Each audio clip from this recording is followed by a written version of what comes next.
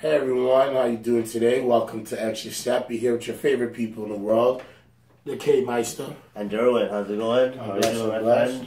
It's been a long week. It's been a I know, very I know. stressful week. I hear that. It's been it's been super stressful just watching the Raptors and the Golden State Warriors go at it. Can I just say, like, it's been a great series. Like, I know it's three two now. Yeah. Um, but I think the I think the Raptors have done a great job so far. They just need to get it done. Well, yeah, no, I think so too. I, I think I, let's just get right into it because I think like even though it's a three-two series, eh, we can look at both the games that they won um, at Scotiabank Arena and go, you know what, like take away one or two possessions. Oh yeah. The Raptors probably come away with both those games, and you know it's a sweep or it's a short, it's a much shorter series than going back to Game Six in Oracle. That, that was one thing I wanted to avoid was like the Raptors having a three one lead was to go back to Oracle, but you know, um, Can I ask you this question out the gate just to kind of get it stirred up a little bit? sure thing. Where do you think Curry stands? What do you mean? In what? In Is what he way? really a top three player? Well, yo, it's it's because like of the way he he makes he makes a difference. First of all, I haven't even answered my question. So I don't know why you're giving me a face. I'm telling you the reasons. No, he is not a top three player because of the things he does not do. He cannot defend the ball. Okay, he's one of our- he's actually a really poor defender. He's um on offense. Let's be honest. Like, what's his what's his real role? He's not. He's a point guard, but he didn't become a point guard until he was in high school. So like th- that way, he's more aggressive as a point guard, which is fine. You know what? It works for their system. I just don't know if in in another system it works. Even if he is the best shooter of all time. Um, Best catch and shoot. but no, it's it's not even about catch and shoot. Kadeen. Like he he can he can create his own. I think, and I think that's what you saw in the tw- 2016 regular season. That's why he won unanimous MVP was because he was able to create for himself. Because he was able to shoot the way he shot. Well, yeah, anyone could do that in the regular season. The regular season is the regular season. No But then, no, then we hard. have, but then we have MVPs for regular season. Fair enough, and that, that that makes sense, right? When I played in the YMCA league, we had an MVP for season, MVP for Of the course, finals. of course. The MVP for the season was on the last place team, averaging about like twenty eight or like no, he was averaging like thirty five a game, and then the finals MVP, I got why did- because I how was, close. How did the last place team get the MVP? That makes no sense. Well, he was scoring the most points, so they clearly loved him off because he could create his own bucket. That's legit why I know he got it. So to me, it's just kind of listen. Curry's a great player. The Warriors are a very balanced team when they run a you know run their offense, but the Raptors are just better. But what I was telling, what I was telling our producer Johnny earlier was that like, if you look at the players that were, that were such a big helps in the 2015 run and the 2016 run, Livingston, Iguodala, They're still there. um, They're still there. They're just not making a difference. They're not. They're not the same players they were. Like Trash. Livingston, Livingston's 37, Iguodala's 36, 35. I'm not 100 percent sure. They're not the same players, obviously. Like you can't. Yeah, and, like I feel bad for Iguodala because he has to go out every night to guard Kawhi. He can't do nothing to him. Like literally, nothing faces him. And like I feel like look at Iguodala. The guy got MVP of the finals because he he tried to stop LeBron. Right. Not like even if they win this series, like he, they're not gonna give him MVP because he couldn't do shit against Kawhi, right? I think Klay gets it. If they win MVP, I don't know. Nah, if they win, it'll probably be Steph They because they'll feel bad for him. Yeah. So it's about time. You know, you, you know that kid keeps coming last or missing out on the award, and he starts crying. Like, okay, here you go, Billy. Exactly. Here's your gold medal. Um, I do want to say something about going back to Kawhi. So uh, there was a stat that I that I saw um, in Game Four. Kawhi dropped thirty six, right? Zero. Okay, what was the zero? Zero turnovers. He's the first person since Michael Jordan in the NBA Finals to drop thirty plus points and have zero turnovers. I think it's, it's starting to get to a point where I know we're gonna have this conversation some more, obviously, but are we gonna give Kawhi a go? Like, is Kawhi gonna be one of those players that he's gonna con- be considered a go? No, listen. Hypothetically, he wins a championship this year. All right, he'll be a two-time M- a Finals MVP because obviously they're gonna give him the Finals. He's gonna be a two-time champion, and the one thing that he has on Michael, he's got two Defensive Player um, awards, and he's only twenty-seven. Okay, Michael didn't win his first ring until he was twenty-eight. Okay, fair enough. That that you're completely right. But here's the issue I have with that. A, he starts to prove himself. Absolutely. Right? absolutely. Yes, he gets it done in the playoffs. I, I believe in Kawhi. I get all that. But to me, if you want to be considered a GOAT, you gotta dominate at all times. You Well, can't okay, be so- a man okay, a bad okay, man. So let's let's go back to how we set up our GOAT conversation. I think you and I are, we understand that there's not one player in the NBA that could be so dominant that could take out every other player. I think that's we've tried to establish that to a point where we've broken down by eras. So every ten Okay. years, there's always been one player Okay, that dominates the league. Okay, Yeah. maybe you'll have one player beside him that will dominate as well, but not the way. Uh, if you want to go, we'll go back to the '60s. Bill Russell. He had Wilt Chamberlain in the league, but Bill Russell was the guy. Uh, you can go to the '70s. Kareem Abdul-Jabbar was doing his thing. '80s, Magic and Larry. Everyone knew Magic. Okay, I don't want to say at the time everyone knew it, but Magic was clearly the better player. He Yeah. ended up he ended up with the more rings. He he's looked at as Los Angeles as you know maybe their second the best player of all time, maybe their best player. Whatever the conversation. Obviously, Mike Mike in the '90s, Kobe and Shaq in the 2000s, and then uh, LeBron in the 2010s and after.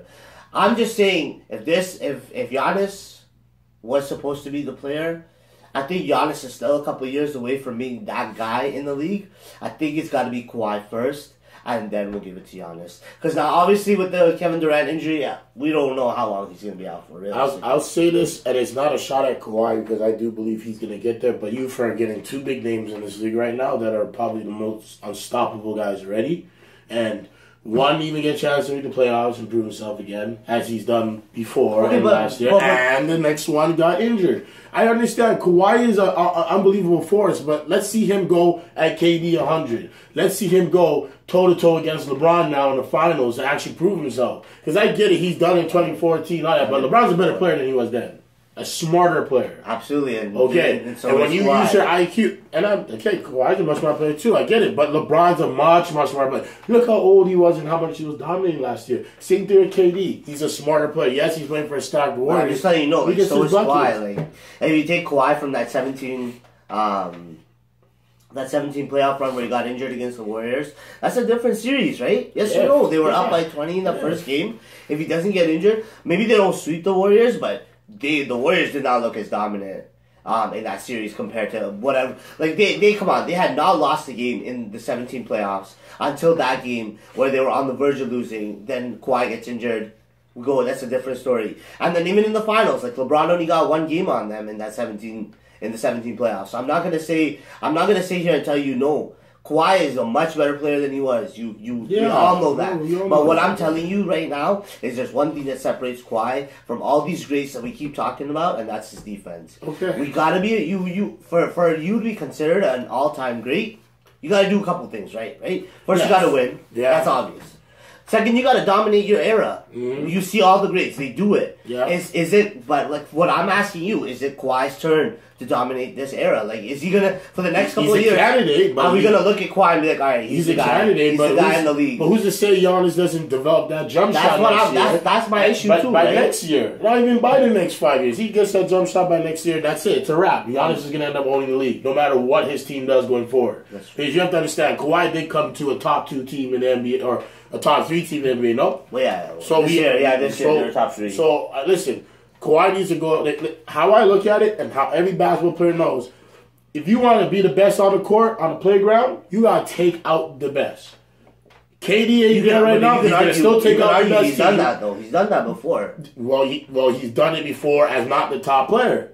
He No, was- no, this year, this year. I'm This year, well, he, he, This year he took out he took out Giannis realistically by himself. Fair uh, enough. Joel Embiid was was sick, so I'm not even gonna compare him. right? But you see that, the- yeah, Joel Embiid's not on that list. But the thing with KD is that between him and KD, and I listen, like if there's anybody here that vouch for Kawhi over KD, you definitely want, I, you know, it'd be me. But I also know the reality is that yo, KD's a bad man. He's a- If he's a- he's a- he's absolutely- on that Warriors team. I don't know what happens because I saw what happened in the regular season, and in that one game we went toe to toe. He dropped 49 with just only Klay.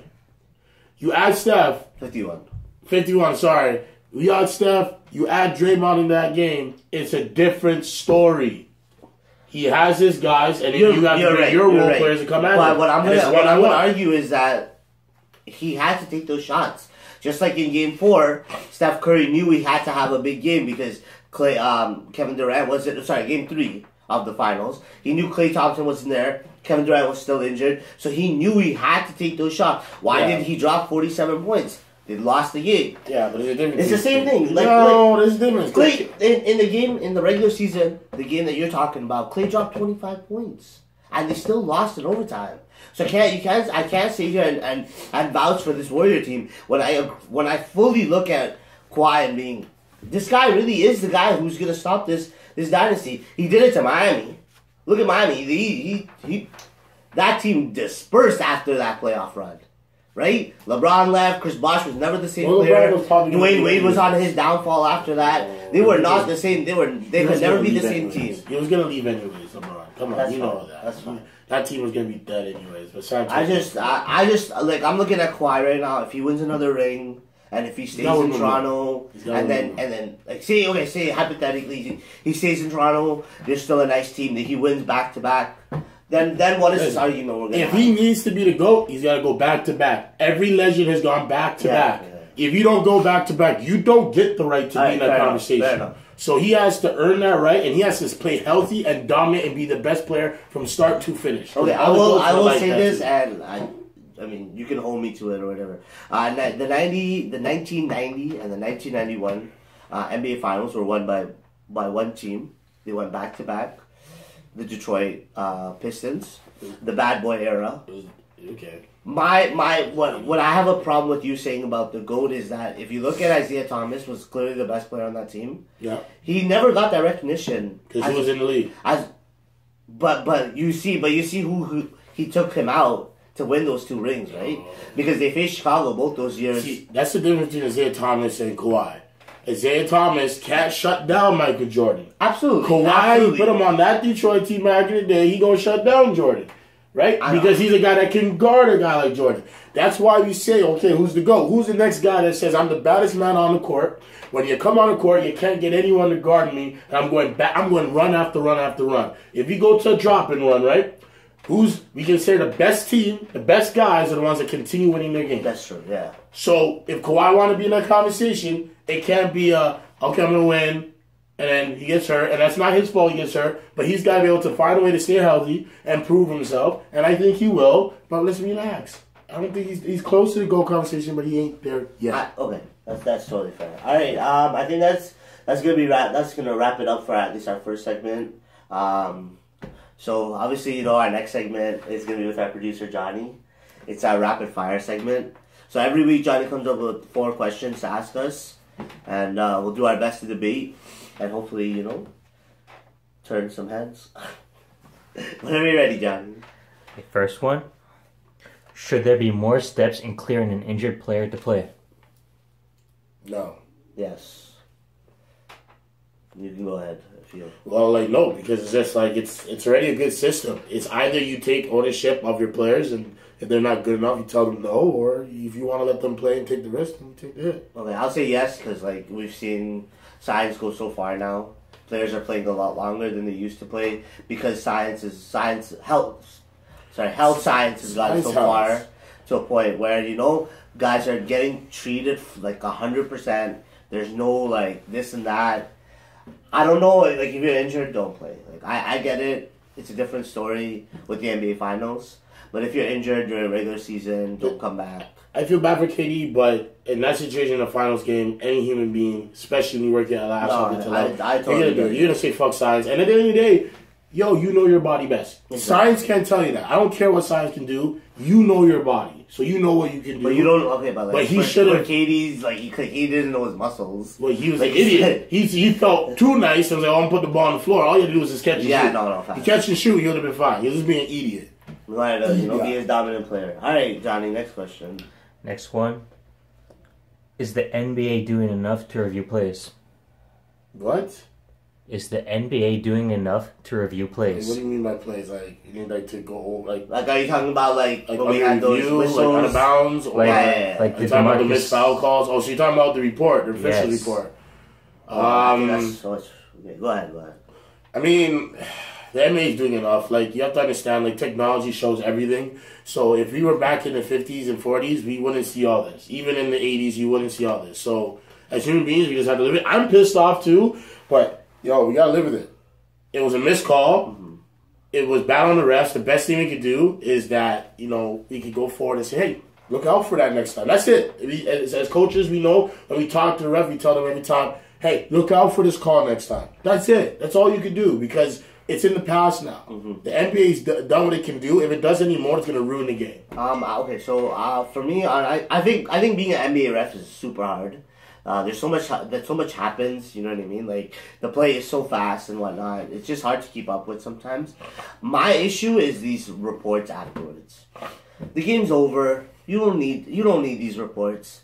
Why are you why are you releasing it to the public? Because all the public does now is gonna look at this report and be like, "Oh, the refs are this, the refs are bad." The, the NBA is giving their own employees a bad rep by these reports because these reports are showing that these refs are missing these calls and live action. When you go back, it's a lot easier when you're looking at it through a video screen, right? When you're looking through a recording, okay, yeah, oh, that for sure that's a foul. Oh, yeah, okay, let me write. No, fuck that report. That's garbage. Like Co- like Kitty said, it's in the past. What can you do now? But but the, the report has some importance because it's it gives that It's showing us something that we can't it makes do anything It makes about. the refs accountable. Now before the refs could call their bad calls, the crowd, the, the world wouldn't know, and it'd be whatever. We'd have to go forward. Now at least, at least, at least with the NBA doing enough now, he could actually be like, hey. You made a mistake. It's in the past, but you have to be accountable. I just, it's the- not like the refs are getting like you know like I haven't seen a ref get fired because they made a bad made a bad call yet. So. No, but they get switched out of games. Like Well, yeah. No tomorrow. All right, your third question, sir, What's one piece of advice you have for Adam Silver regarding what regarding anything? the NBA. Like, Yo, we need another damn Canadian team, bro. I'm oh tired of this shit. I don't give a shit where. We need another damn Canadian team. Stop it. Take All one right. of those shitty ass California teams, bro. There's like fucking four of them. Stop. They don't need so many damn California teams. Bring one over to Canada. Stop. I have no Okay. problem with that. Stop. California has the same population as our It's country. bigger, They have bigger, bigger it's bigger if not. So they have a right to have as many teams. Yeah, as but then you so nice no, but as I fans, you don't get to cheer for the right team, We have and- Canada's team. Why would we want another team? Why you want a team in Vancouver for? I I'm want them to cheer for us. saying Vancouver. Yo, bring another one. Where? Nah, Where? Don't even say Toronto because I'll kick you out Montreal, of here. Montreal, Montreal. What do you want the French to have it for? What's wrong with the French, yo? Too bad. Let them stay there. They don't need a team. Yo, They're they gonna watch they the games. They didn't team, watch the yo. Expos play. They barely watched the Canadiens play. Okay, now 'cause they suck. relax, They didn't make the playoffs. No. You're telling me if there's a Montreal team that don't make the playoffs out there, they're gonna go watch it? Yeah, No. I'm no. pretty sure the Canadian team, like the Montreal Canadiens games are always sold out. It's because they're la hockey. They are all kind of people. Okay, so then you're telling me there's no Raptor fans in, in Montreal the yeah, change? Yeah, so yeah. there you Raptor. go.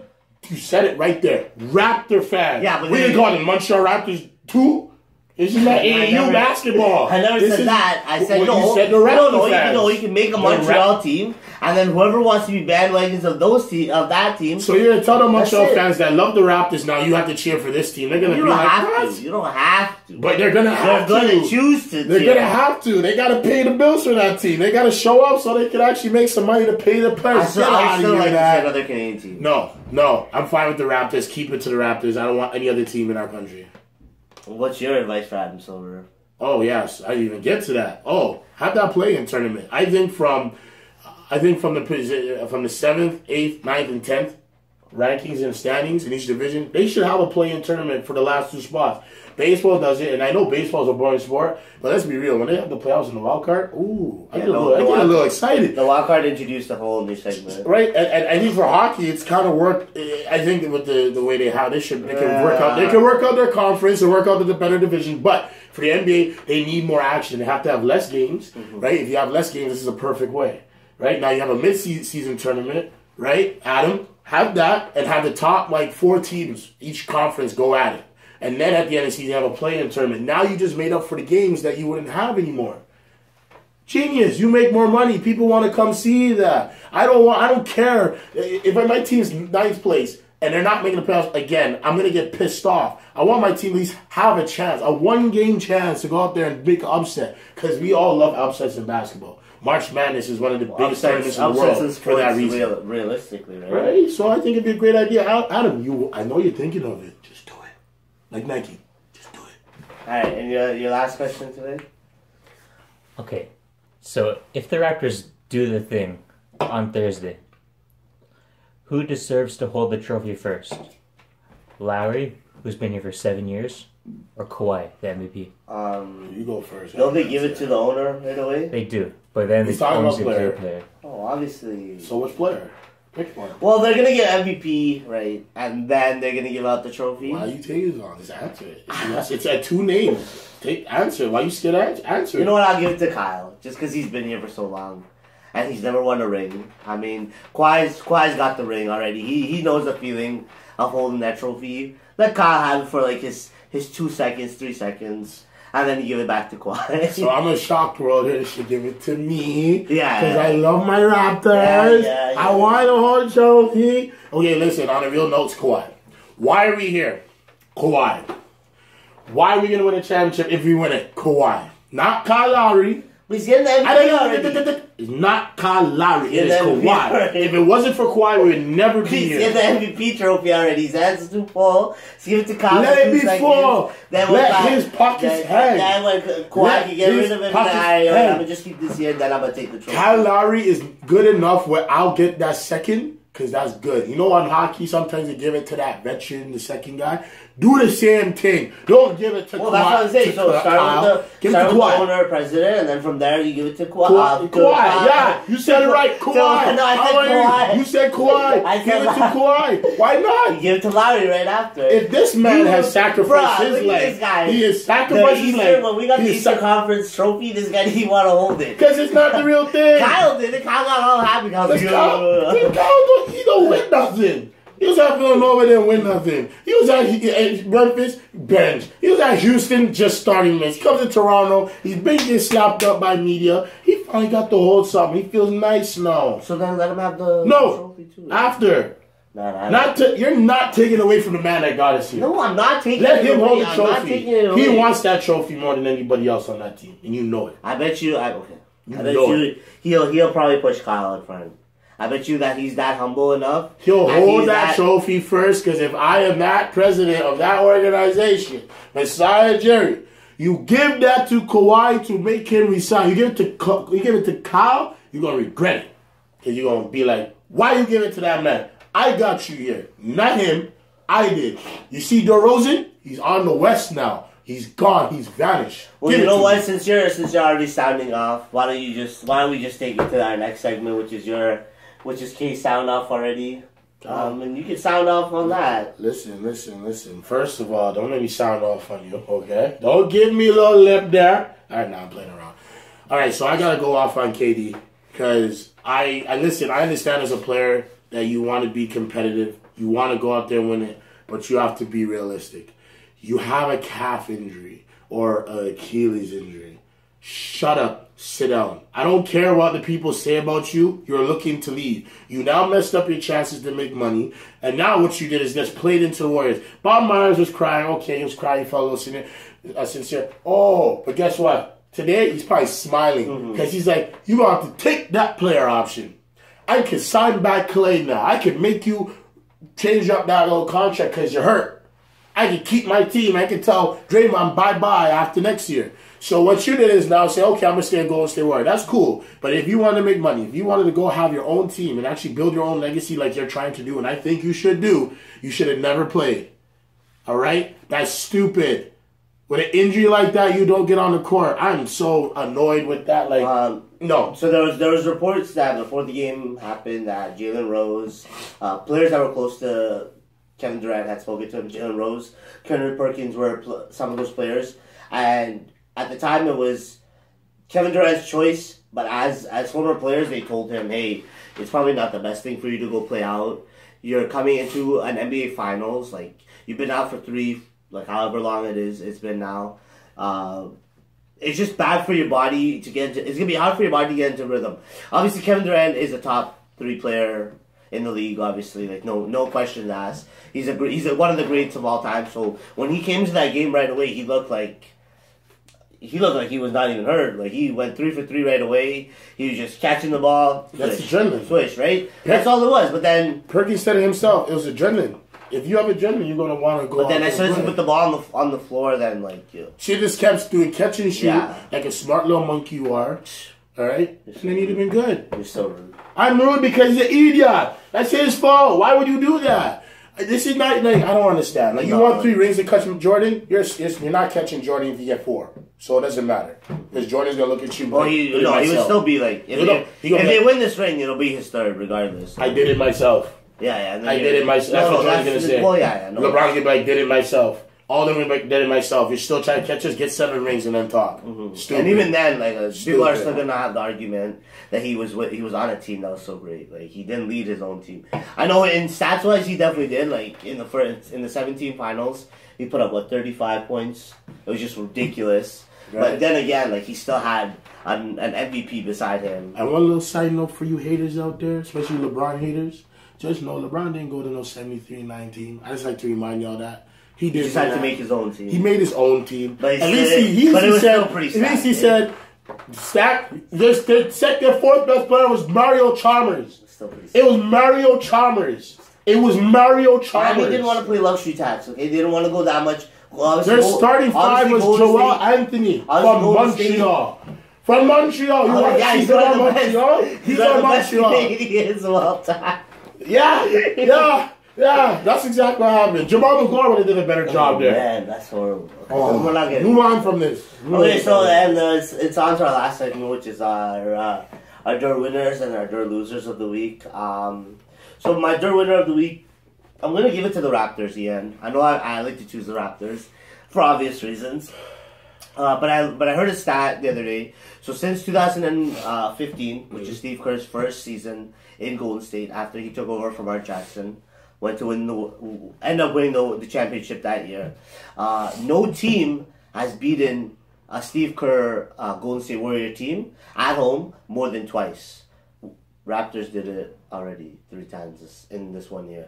So the Raptors are the first team in six years to be able to beat a team that at home is like unbelievable. Like when you like when that place gets rocking, like it's hard to play there. Like I've I've been like watching it and as a DeRozan when sorry when the team was under DeRozan and whenever we used to go there, they were always close games. Like, don't get it twisted, but it was always at the end where we used to lose it. With Kawhi, it's different, right? Kawhi knows when he has to take that shot. He doesn't. He's not gonna shy away from the win. So I'm gonna give it to the Raptors for doing something that no other team was able to do. Think about how many playoff runs this team has been through. Look how many teams they face in the West. The West is supposed to be the harder conference, and you're telling me no team was able to to get two two wins against you in the playoffs and in the regular season. That's that's crazy. Like that's that's that that's why this has to be like the winner of the week.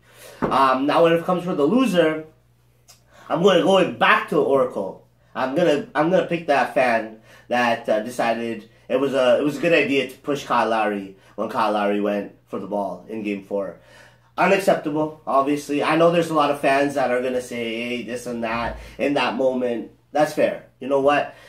When you watch the replay, that guy was nowhere close. Kyle was nowhere close to that guy. The guy that he bumped actually goes like this to him, like, Are you okay, Kyle? But the other guy turns and pushes him.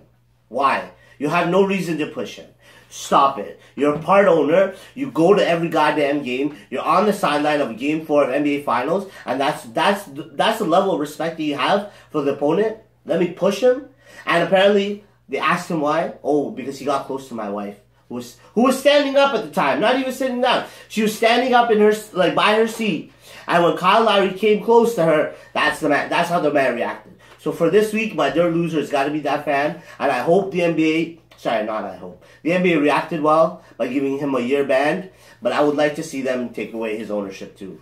You're an owner of the team. You don't need to be a part See, of that. See, this is what happens when you have white privilege. It's this man thought I'm an owner. I'm a white man. There's a black man I can push him. I don't care where you are in America in this world. You don't touch any player on the court. You said it completely right.